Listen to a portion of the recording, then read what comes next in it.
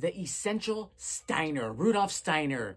Check this out. Rudolf Steiner is the originator of anthroposophy as a movement. It's a spiritual movement that he began. Okay, this is about 400 pages, but this is his top five. Check it out.